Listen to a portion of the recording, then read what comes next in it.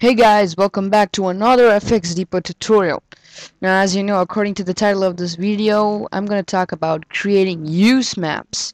Okay, it's a really fun uh, thing that we use in, HTML and it kind of makes the website more interactive, you know, if you know what I mean. So I'll just show you a little example and how to actually make these use maps, alright? It'll actually make your website more popular amongst other viewers. So anyways, I'll just show you what to do. Now the first thing you need, of course, is a good good source editor, like the one I have here, which is Notepad++. And remember, always create a new folder for your website, like the one I created here. I've just named it folder. I mean, I've named it just website. Okay, you put all your files, uh, HTML files, codes, everything within this folder. All right. So anyways, I'll just open up the Notepad++ source editor now. And I'll just type in a code which creates use maps. So we start with the HTML opening and closing tags and then we'll open up our body tags. Sorry. And then within them we'll open our image tag and I have an image inside the folder that I just talked about right now called Carrot Angel. I'll tell you what it's about in a minute. Then I'll give it a title. Let's call it Carrot Top and Criss Angel. I know, funny combination, right? And then just add in this attribute, which is called use map attribute. We'll add a hash and we'll call it Carrot Angel or whatever name you want. Okay? And then within that we'll start a new thing called map name. We'll use the name we gave here carrot angel and we'll use it as that same id class function only this is a little more different. And we'll leave out the whole hash thing and we'll just type in carrot angel.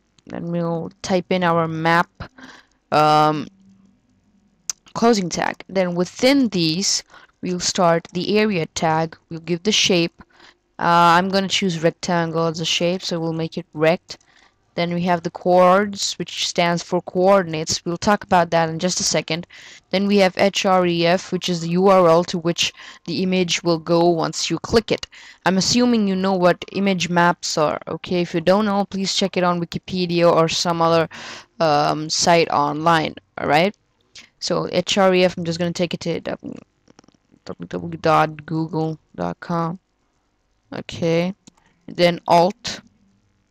Let's leave alt out of this mess. Okay. Then that is for carrot top. Then we need to put one for Criss Angel. That too is going to be a rectangle. Then we'll put in our coords, which I'll talk about in a sec again. Then this time I'm going to take this www dot um, gmail.com okay alright so we'll save it in that folder I was talking about website. Wait a second. Doesn't open. Just wait a second. Yeah okay see this is the picture I was talking about carrot angel. I don't know how more creepier this can get. So anyways we'll call it index.html or html and we'll save it as hypertext markup file here I hope you can see it Alright, we'll save it. Okay, now let's cut out of this. Go back in here. We'll open our folder and we find the HTML code here and the image here. Alright, now if you're pulling it out from your own computer, the image of course, you have to keep it in the same folder, otherwise it will not be able to pull out the image. Whereas if you're trying to um, take it out from the internet, you need to type its URL and you need to have internet connection on or connected while you're testing your HTML code. So anyways, we'll talk about the coordinates now. Now coordinates is what specifies the part of the image. Now as you as you can see what I want to do is basically this. I want a rectangle on carrot top right here that when I click it it'll take me to Google and I want another rectangle completely separate from Carrot Top on Criss Angel's face only.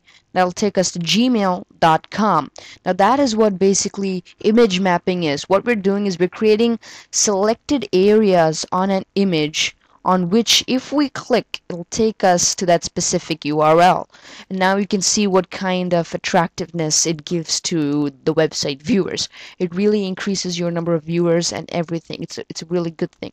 So anyways we need to find out the coordinates of this particular image as I was talking about. So I have a great website it's not mine but I, I know a great website where you can actually upload the image and you can select the area that you want and it'll spit out the coordinates which you can add in our code right here in the empty coords um, attribute which I did not talk about. So let's go down to Mozilla Firefox. Let's open up a new tab.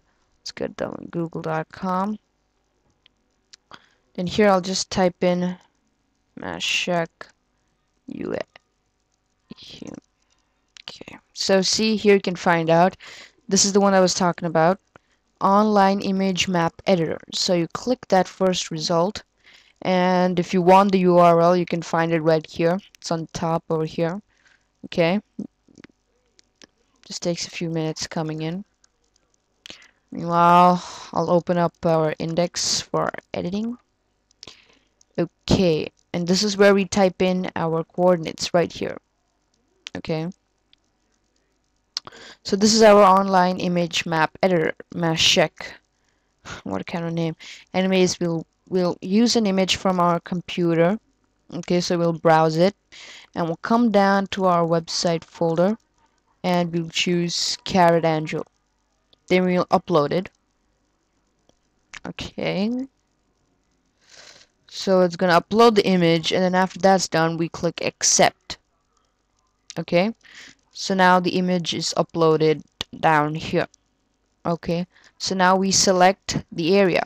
Here you can specify what kind of um, shape you want you want rectangle because I use rectangle for the code. If you want circle you have to change the code and in the shape you have to type in the value as circle.